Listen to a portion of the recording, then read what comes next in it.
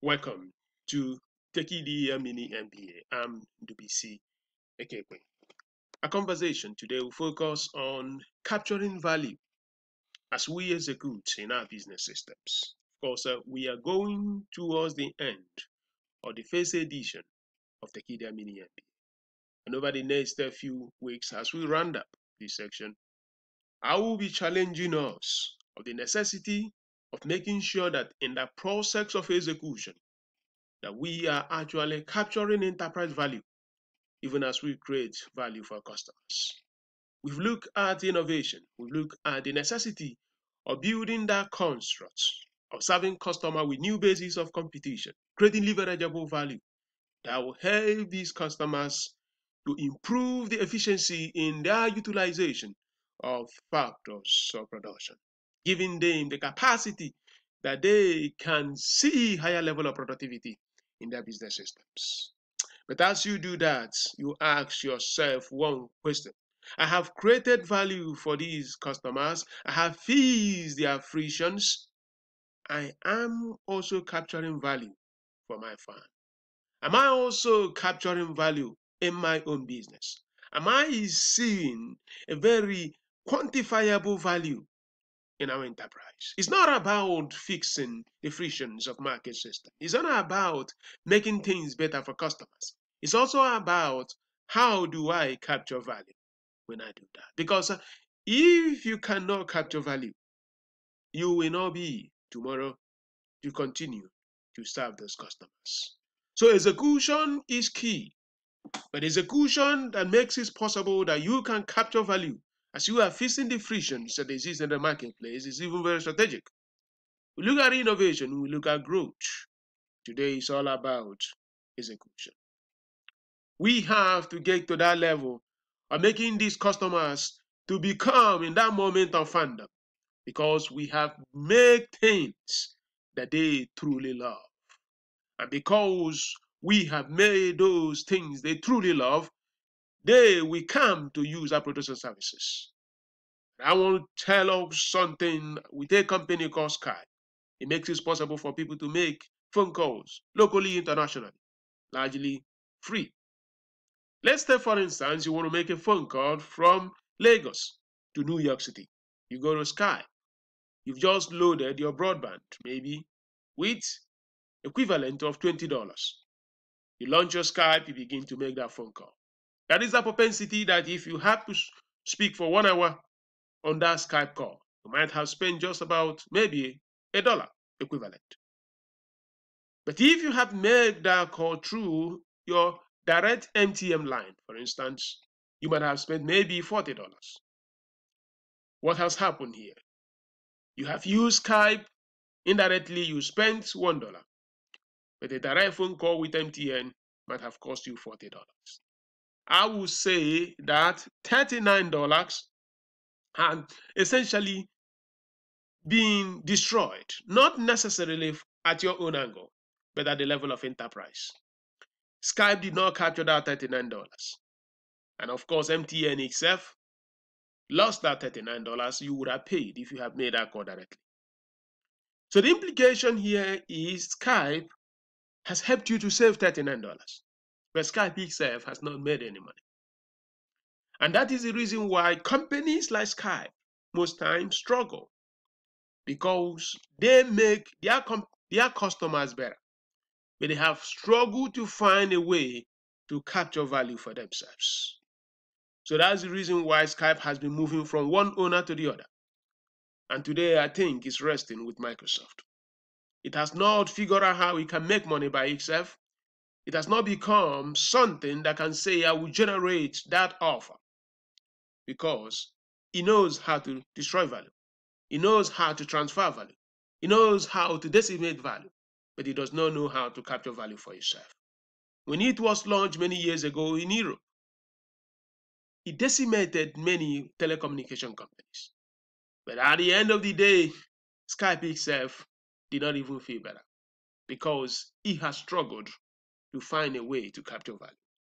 So my point today is that as you create that value for customers, as you move them, serving them from the needs, expectation, or perception you must find a mechanism that you have to capture value in whatever you are doing. Because if you cannot capture value, you are going to be in trouble.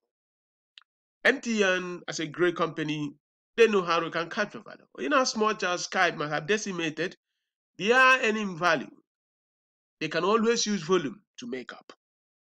And even if they are getting a dollar from that transaction, by the time you put millions of people, you see companies like MTN can be fine.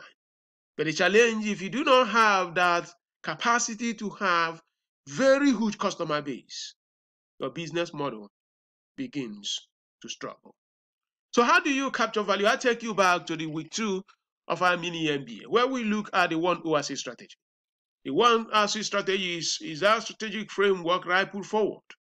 And I made it clear that if you are working, especially in the digital platforms, that one of the best things to do is to look at your real category king product, the most important product in that enterprise, and see how you can make it the very best. Because if you can keep it to become and remain the very best, you can leverage on it to do many things in that industry. If you go to Amazon, the best product in Amazon is Amazon e-commerce. That's what everyone knows Amazon. But Amazon itself does not necessarily make tons of money through Amazon e-commerce in terms of margin. So what does Amazon do? Amazon has what we've called the, the, the double play. Amazon Web Services. That's where it makes money. The cloud computing unit of Amazon is a, one of the most profitable units in Amazon. So, but Amazon to make the one oasis, which is the Amazon e-commerce, Amazon has to invent the AWS, making sure that the Amazon e-commerce remains the very best in the world, remains the very best in America.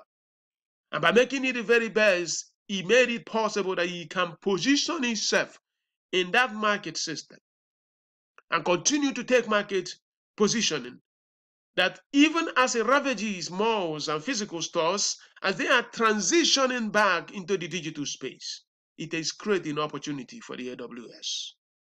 So it's a way I can lose margin by making my products fairly affordable for people to shop online. But as I do that, there is a propensity that many physical stores will struggle. And if they are coming to the digital space, my company is one of the most positioned to capture the value that I have created through that transfer that is happening from the physical to the digital. So Amazon would not have been a great company if it didn't have the AWS. Because what would have happened is that Amazon would still struggle with creating this great value for customers through the e-commerce business without necessarily figuring out a way it can capture value as the dislocation is happening because it doesn't really have great margins in the e-commerce business. The oasis is the best part of a business. Like you go back to the to the desert, you see the oasis. It's a place where the merchants, is a place where the people that live therein go to draw life. In your business, there is an oasis inside our desert. That's that business unit that gives life to every inhabitant of that business. You need to nurture your oasis. You need to make sure it has a capacity that he can feed and do great things in that enterprise. We have the same thing with Samsung Electronics. It gives you the Galaxy series. Provided the Galaxy series does well, Samsung doesn't really care what is happening because it will capture value through the Samsung Electronics. That's the reason whenever Apple does well, Samsung does well because the best customer for Samsung today is Apple because Samsung makes the electronic unit, the microprocessor that Apple uses in some of his great products. In other words, Samsung can invest all the money he wants to invest in Samsung electronics because the risk has been taken care by Samsung Galaxy. But even if he does not make money through Samsung Galaxy, he knows that he has created a double play that Apple will come for the best possible microfabrication facility in the world that enables it to become a major customer to Apple for making a microprocessor that I use in iPhone and iPad. Samsung would not have gotten to that position without a Galaxy. So Galaxy doesn't need to make money, but Galaxy needs to give Samsung the opportunity to break even. so that he can take risk on building the next fabrication facility in the world, that he can meet the needs of great customers like Apple. Alibaba may not even ask you to pay anything, but you have to use Alipay because the value in Alibaba is captured through Alipay. That is what we call using the one oasis and plugging in the double placer. That is how value could be destroyed in one sector of your business, but value is captured in other unit of your business. And you will see the same thing in great companies like Dangote. The trucking unit of Dangote powers most things that are done in Dangote Group. You cannot create value for customers without figuring out how you can capture value. And because we know that the opportunities are evolving, there are going to be great shifts as a result of COVID-19 pandemic. We have seen these that we are going to see remote everything, remote work, remote school, remote clinic, remote sales unit.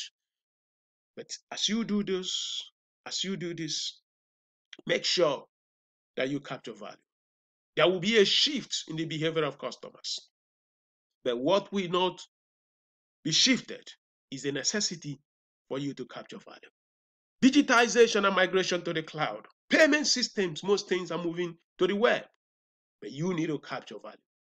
Hybridization of, of supply chain. We will see companies trying to be flexible, adaptive, making sure that they can have a concatenation of the global supply chain as well as local supply chain.